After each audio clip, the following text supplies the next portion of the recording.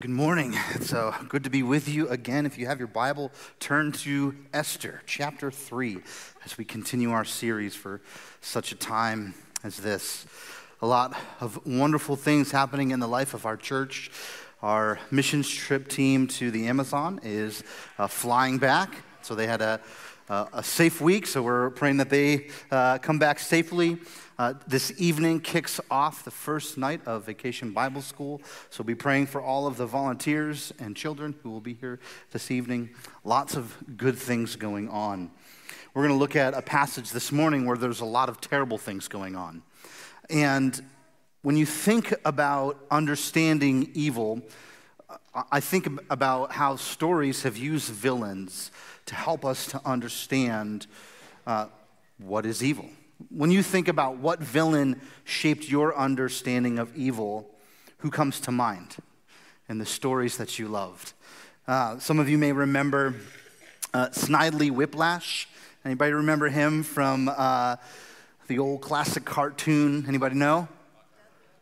Dudley Do Right or Underdog, all those, right? And so Snidely Whiplash was this like quintessential villain uh, back from the 1950s. All villains had curly mustaches back then. Um, so let's, let's make curly mustaches righteous. Uh, I say bring them back. Villains help us understand what, what, what is essentially evil or wrong, and we can intrinsically pick up on them in stories because they do things that seem to violate our conscience. That we know that that choice is unfair or that decision is evil. We can think of uh, maybe Captain Hook, kind of the angry uh, adult in the story of Neverland, where all these kids never grow up, but there's kind of this adult that's trying to seize control, and he's the quintessential villain. And, uh, and then you see maybe Darth Vader shaped your childhood uh, a little bit. And uh, Darth Vader was the greatest villain in my childhood. And I think there's something so scary about realizing that the main enemy is actually your dad um, that's brutal. I love my dad, he's not a villain, but that was terrifying reality for me. Uh, maybe you like Cinderella and the evil stepmother, who I just recently learned her, her name is Lady Tremaine, and she's just subtly evil and vindictive and unfair to Cinderella, and she, you know, manipulates and then postures things just to always go wrong for Cinderella. And we get a sense of evil from reading these stories or watching these stories unfold. And we're going to get a sense of that this morning because we're going to be introduced to the main antagonist in this story and a man named Haman. And we'll see the rise of Haman in his plot to destroy the Jews in chapter 3. And this story pictures Haman having all seven of the characteristics that Proverbs 6 16 through 19 says the Lord hates, and I'm just going to read them to you. The Lord hates a proud look, a lying tongue, hands that shed innocent blood, a heart that devises wicked plans, feet that swift uh, that are swift in running to evil, a false witness who speaks lies, and one who sows discord among the brethren. Haman makes the list of the classic villains, I think, when I think about villains, and he fulfills all of those things that God says he hates. And so that should be a warning to us as we examine our own heart and mind. But I think in the story of Esther, it's another reminder that the greatest of villains are no match for our great God. So, this morning's big idea as we read this passage is that evil intentions are no match for God's ultimate plan. And so let's read together and continue the story as we kind of get to see what God is doing behind the scenes, how he continues to set up, set, set up this, this great redemptive story of rescue. So in verse 1 of chapter 3, the writer says, After these things, King Ahasuerus uh, promoted Haman the Agagite, the son of Hammedatha, and advanced him and set his throne above all the officials who were with him. And all the king's servants who were at the king's gate bowed down and paid homage to Haman, for the king had so commanded concerning him. But Mordecai did not bow down or pay homage. The king's servants who were at the king's gate said to Mordecai, Why do you transgress the king's command? And when they spoke to him day after day, he would not listen to them. They told Haman in order to see whether Mordecai's words would stand, for he had told them that he was a Jew. And when Haman saw that Mordecai did not bow down or pay homage to him, Haman was filled with fury. But he disdained to lay hands on Mordecai alone. So they, as they had made known to him the people of Mordecai, Haman sought to destroy all the Jews, the people of Mordecai, throughout the whole kingdom of Ahasuerus. In the first month, which was the month of Nisan, in the twelfth year of King Ahasuerus, they cast pur, that is, they cast lots before Haman day after day. And they cast in month after month till the twelfth month, which is the month of Adar.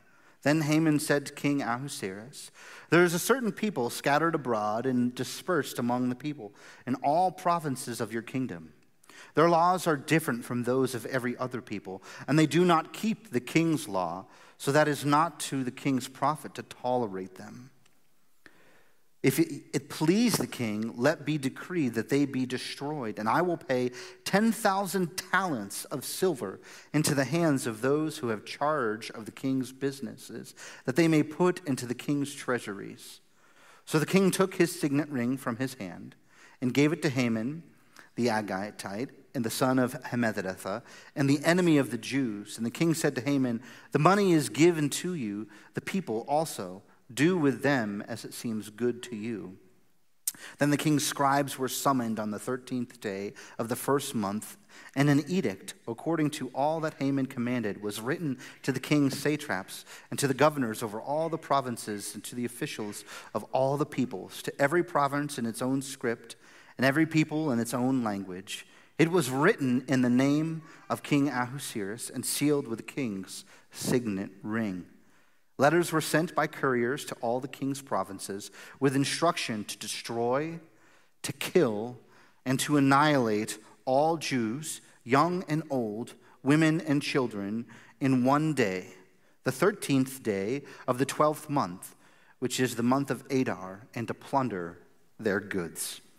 A copy of the document was to be issued as a decree in every province by proclamation to all the peoples to be ready for that day. The couriers went out hurriedly by order of the king, and the decree was issued in Susa, the citadel. And the king and Haman sat down to drink. But the city of Susa was thrown into confusion. So, we're going to see a couple things here uh, about Haman. We're going to take a look at Haman's pride, we're going to take a look at Haman's pagan perspectives, and unpack Haman's plot this morning. When we look at the beginning of this passage and we see Haman introduced, I want you to note that the Hebrew word that we translate Haman from is very close to the Hebrew word wrath. It's very uh, interesting. I, I, don't think it's a, a coincidence that God is a God who rescues us from wrath. And so, just as God is going to rescue the Jews from Haman, who represents wrath, God Later on in Scripture, we find that He will rescue us from the wrath of sin. And so, this is the work of God, that He is a God that overcomes wrath and wrathful people. So, Haman is interesting because he's put into a position, he's introduced as being promoted, and he's put above all the officials. And all the king's servants were, were given this decree to, to bow down to him, to acknowledge him for his position and his power.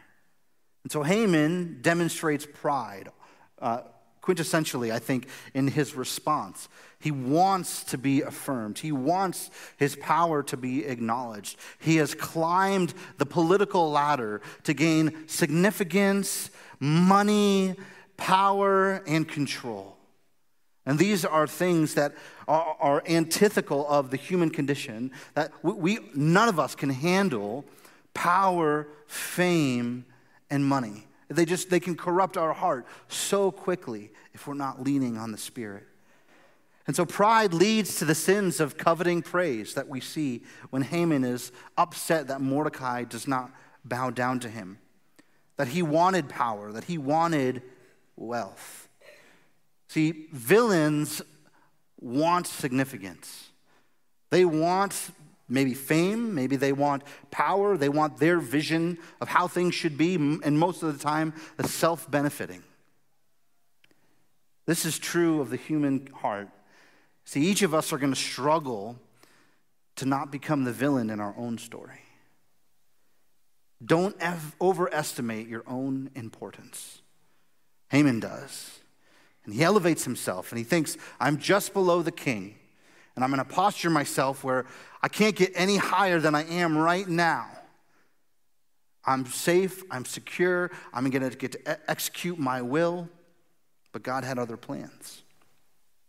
And so it's interesting that his pride leading him to covet wealth and, and praise and power also allows him to become easily offended by those who don't bow before him or give him validation and recognition. It's interesting to me when you study villains, most of the time they're fragile. They, they're, they're overly emotional and they're easily offended or easily threatened. Haman is the highest office in the land, just below the king. And he's threatened and offended by one official who doesn't stand.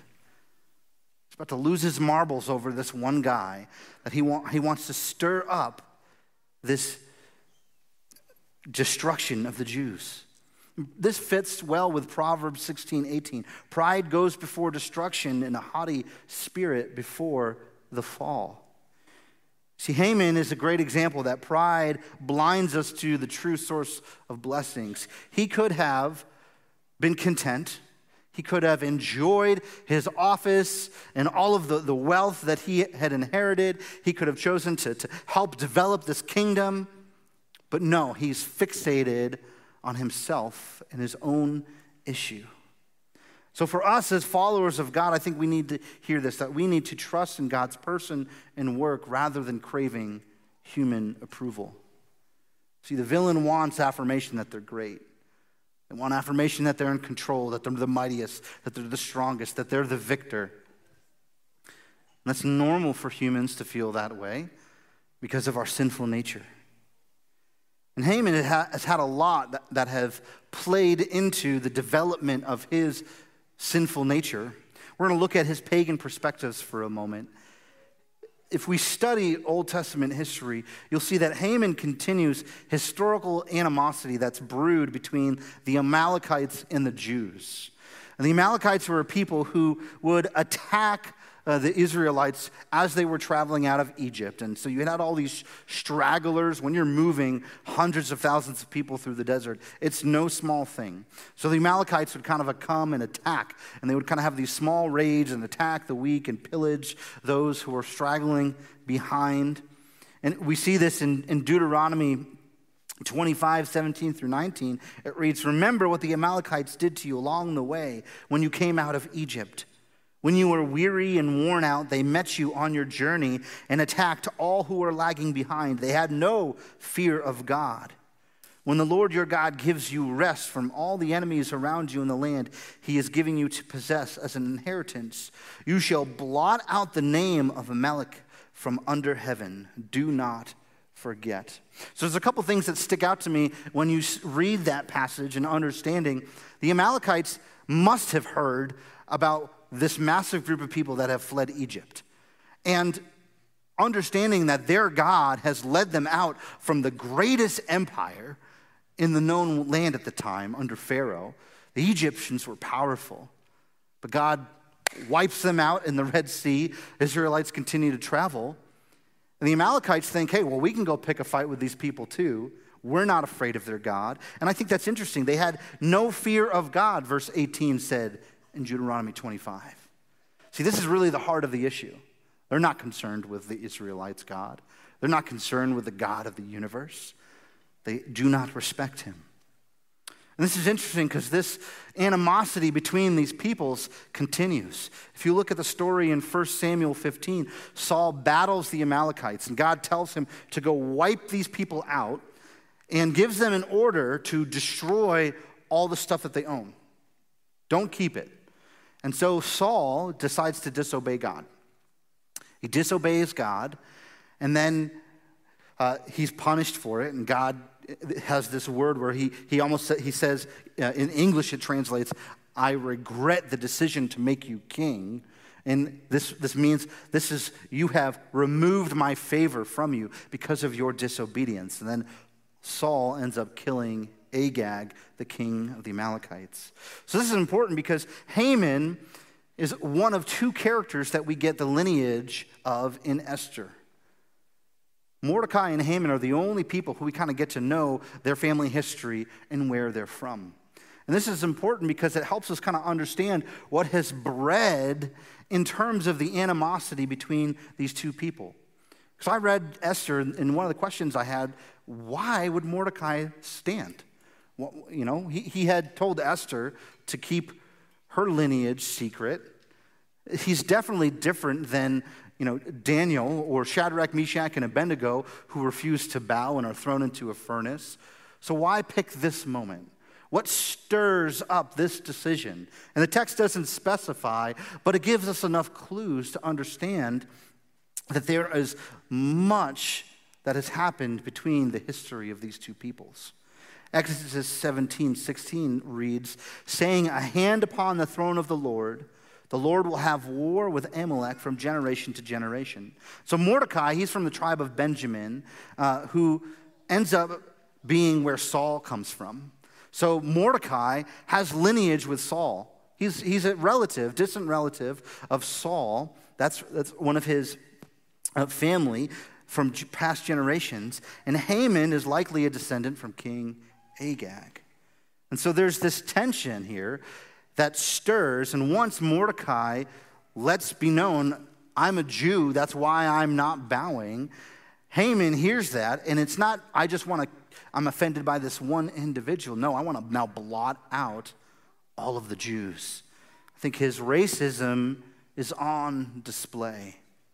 And it's interesting because pride blinds us to the humanity of others. Pride can uh, allow us to think we're greater and I don't see value in somebody else. This is a danger for us when we look at our enemies. When we look at those who have worldviews that are contrary to our own, we think that we have the right to determine that they have no value. But I want you to hear this because they are humans, they have value because they're God's creation. There's this word uh, or this phrase in, uh, in Greek, the, the imago Dei, that they're made in the image of God. The philosophers would talk through that you have value because you are human, made in the image of God. And so pride can be a dangerous thing because it begins to allow us to think that others that are made by God are less than. And I want to warn you not to be Haman. See, villains don't guard against seeking recognition or material gain at the expense of humility or, or gratitude. Haman's not humble. Haman expresses no thankfulness for his rise. Simply, he's offended by one Jew. And then he begins to look to make decisions that are rooted in pagan tradition. Look with me at verse 7 of chapter 3. It says, In the first month, which is the month of Nisan, in the twelfth year, King Ahasuerus, they cast pur, that is, they cast lots before Haman day after day. And they cast it month after month till the twelfth month, which is the month of Adar. So this is interesting because he looks to astrological guidance. And this is contrasted with the, the Jews' view of God's sovereignty. And you're going to see in, ju- in just in a, a, a, few short uh, verses when uh, Mordecai is interacting with Esther. Later on in the story, we're going to see that, that Mordecai has a belief that God's going to provide. That even if Esther chooses not to advocate to the king for her people, another way will present itself. And so he believes in that. That's his posture. And that's such a contrast with, with Haman's posture because Haman's trying to sort out what are the sciences telling me, what are, what are, what are the man made systems, what are these mystical, unspiritual things telling me that then I can determine and control. And I think this is great because it's contrasted with Proverbs 16:33. It says, The lot is cast into the lap. but it's every decision is from the Lord. So Haman's thinking, I'm going to leave this up to chance. I'm going to use this, this mythical tradition to kind of decide when am I going to try to go to the king? When are we going to kill the Jews? And he does all of this, and it may just seem by chance, but from a biblical perspective and from a godly perspective, we get to hear that there is no such thing, that God is the one who determines what lot is cast. This is helpful for us because when we understand this villain,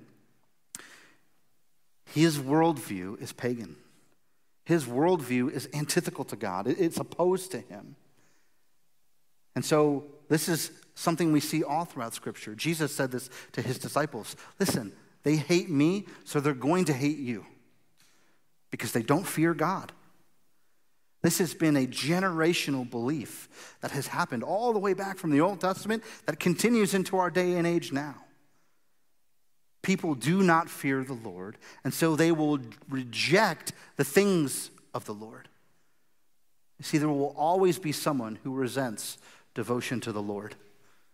And so, as you follow God, there's going to be somebody in your life that's not going to be happy about that as you submit to God and His Word and say, This is what I agree to, this is what I submit my life to, people are going to be upset by that. Don't be shocked. Don't be worried. Don't be easily offended. Don't be easily threatened because that's what the villain does.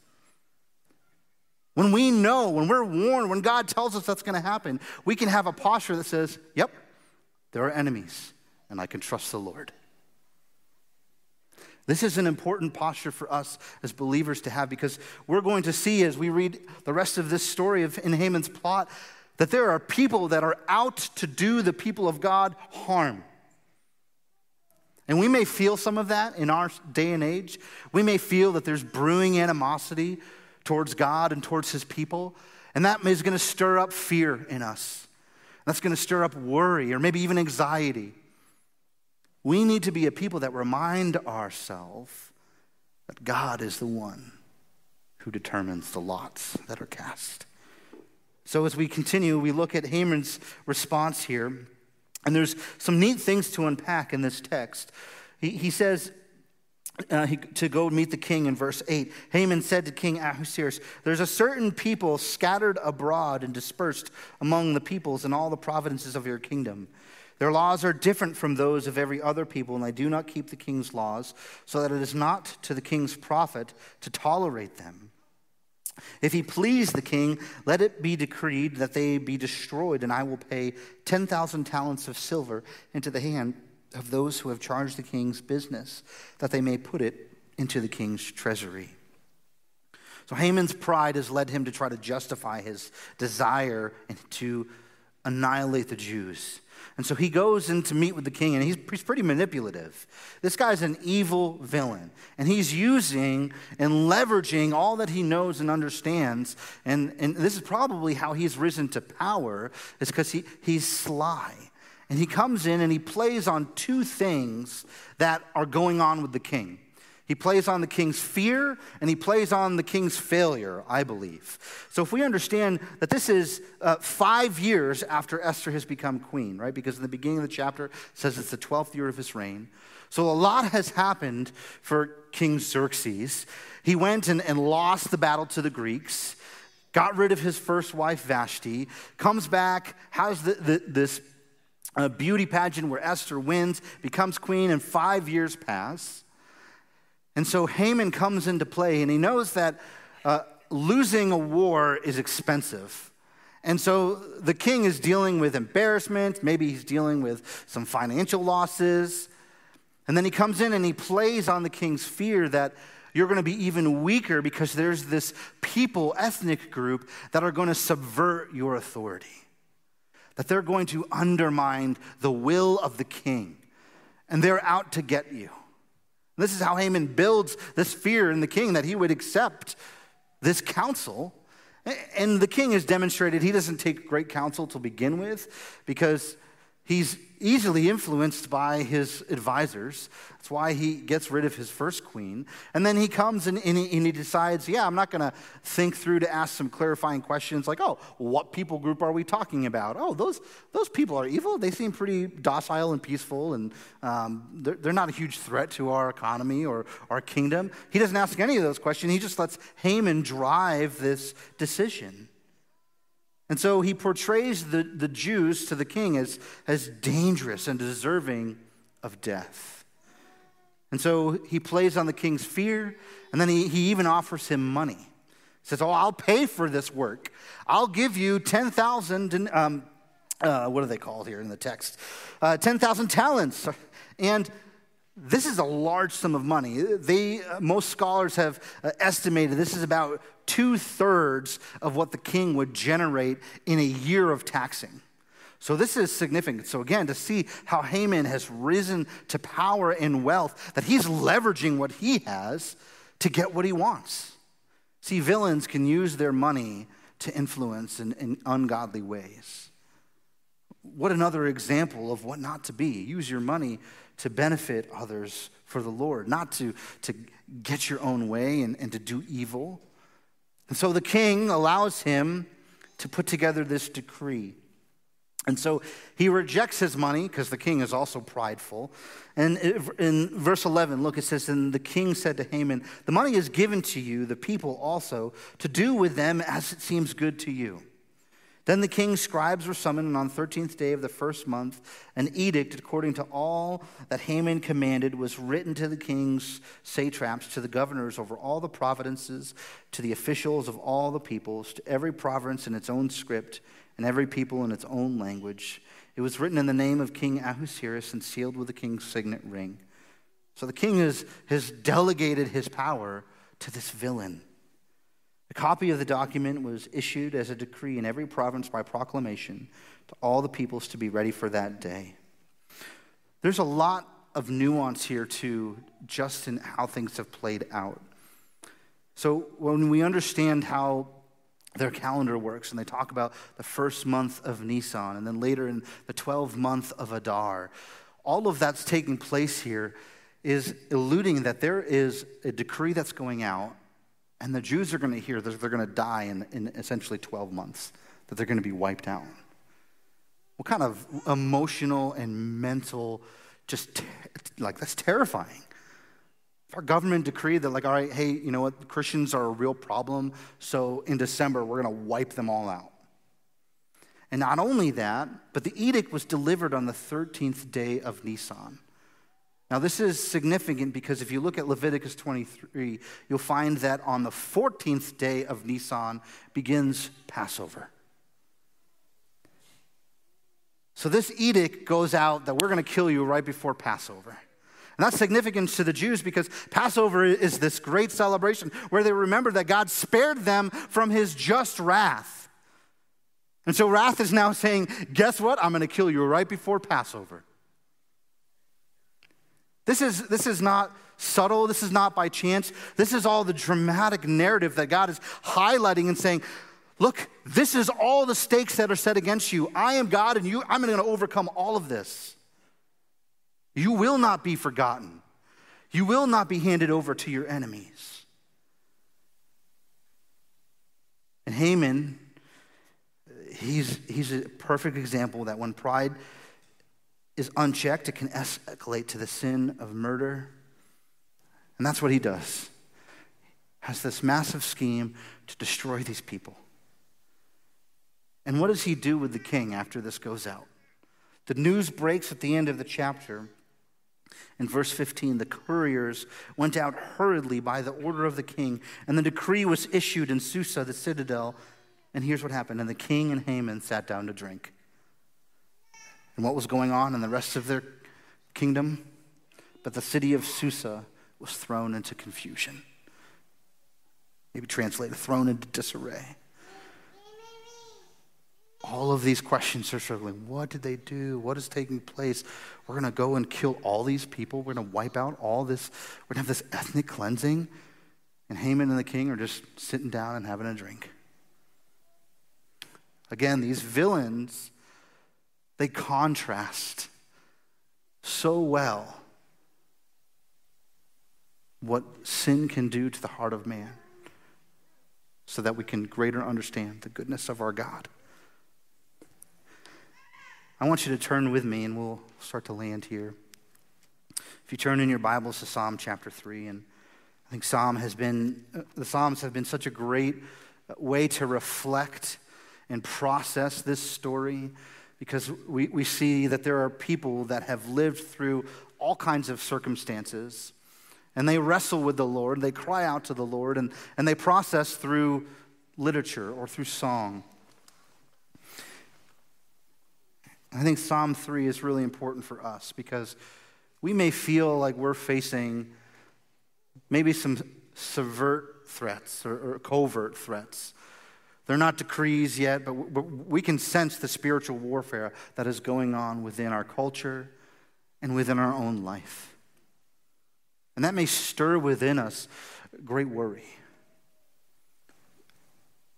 And David writes this, this great um, word here in Psalm chapter 3. Read, read with me. He says, O Lord, how many are my foes? Many rise against me. Many are saying of my soul, there is no salvation for him in God. God can't save you.